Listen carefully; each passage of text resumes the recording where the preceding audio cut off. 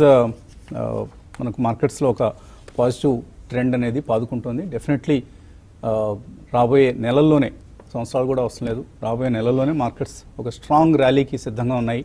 So go and buy shares ఎటువంటి సందేహాలు పెట్టుకోద్ది ఈ మార్కెట్ మీద.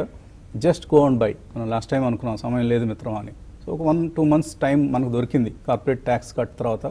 సో ఈ టూ మంత్స్ టైంని ఎవరైతే సద్వినియోగం చేసుకుంటారో వాళ్ళకు మాత్రమే డబ్బులు వస్తాయి. మిగతా వాళ్ళకి రావు.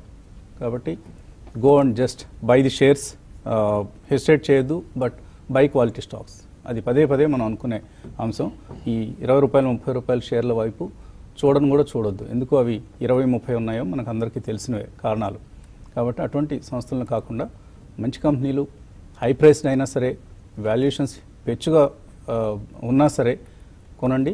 కొద్ది కొద్ది భాగం ఆఫ్ కోర్స్ రిస్క్ క్యాపిటల్ని మనం మిడ్ క్యాప్ స్మాల్ క్యాప్స్లో పొటెన్షియల్ విన్నర్స్ని ఫ్యూచర్ లీడర్స్ని అంటే మనం ఏం చేయాలంటే మార్కెట్లో ఎప్పుడు కూడా identify the winners of tomorrow అంటాం.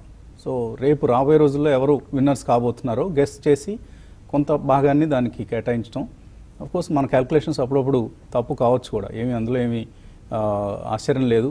జరుగుతుంటాయి కూడా మార్కెట్లో చాలాసార్లు. కానీ కావాలని రిస్క్ ఎసెట్స్లో స్పెక్యులేటివ్ స్టాక్స్లో ఇన్వెస్ట్ చేస్తే మాత్రం మనల్ని ఎవరు మెచ్చుకోరు. పైగా శిక్ష మనకే పడుతుంది.